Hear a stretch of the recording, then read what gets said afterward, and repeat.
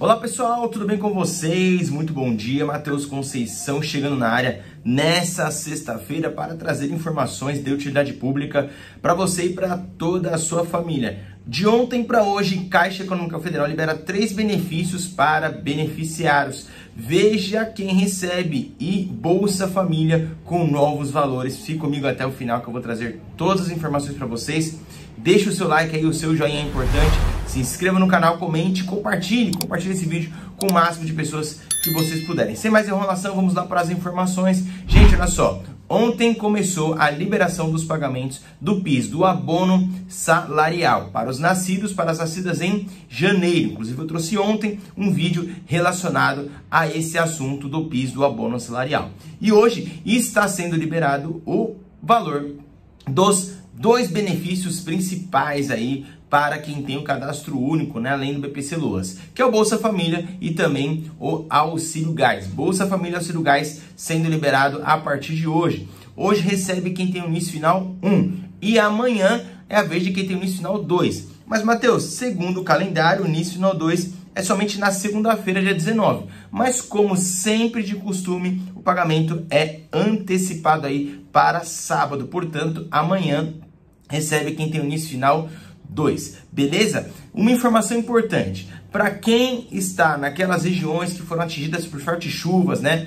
Rio de Janeiro, enfim, outras regiões do nosso país, você que já está acostumado, todos os NISes do Nicional 1 até o Nicional 0 recebem no dia de hoje, dia 16, junto com quem tem o Nicional 1. Então, pessoas que estão nas regiões que foram decretadas calamidade pública e decorrência de fortes chuvas, etc., pagamento antecipado para o dia de hoje, tá? Os valores estão mudando muito, porque Existem pessoas que estão conseguindo emprego com carteira assinada, ou alguém da família está conseguindo emprego com carteira assinada, e o valor está vindo pela metade, tá? No, no, caso do Bolsa Família. Isso acontece porque aumentou a renda per capita e você entrou na regra de proteção.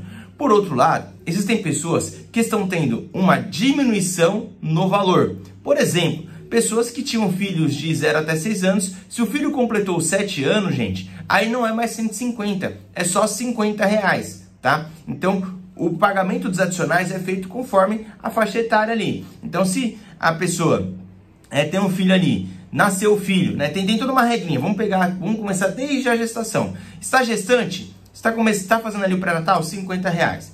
Gestante, teve ali o parto, né? Neném nasceu. E aí tem o adicional de 50 reais para as lactantes durante seis meses. Aí essa criança, até completar seis anos, vai receber 50 reais, tá? Depois que vira de 100, vai receber é, 50 reais, quando, quando fizer seis meses. Aí até completar seis anos, aí é 150 reais. Então criança de 0 até 6 anos, 150 reais. Se fizer de 7 anos, aí cai para 50 reais. E vai 50 reais até aí completar 18 anos. O que acontece? Tem pessoas na família, né? Que a, a no caso ali é, tem um filho e esse filho fez 7 anos. Não vai ser 150, vai ser 50. Tem pessoas que tinham adolescentes, jovens na família, que tinham 17. Completou 18, não tem mais o adicional de 50 reais tá? Então tem que ficar ligado aí, ligado nessa faixa etária. Fora a questão da regra de proteção e outras questões, tá? E tem gente que está recebendo a mais, por quê? Porque ficou gestante, né?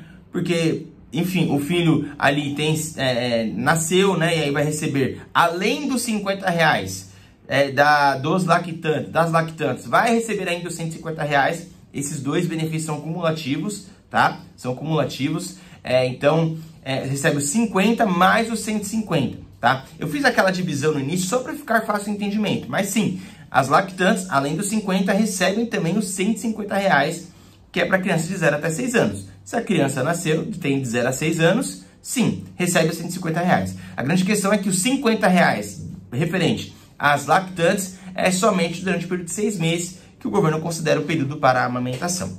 Beleza, gente? Auxílio gás também está sendo pago, salvo engano, o valor de 102 reais.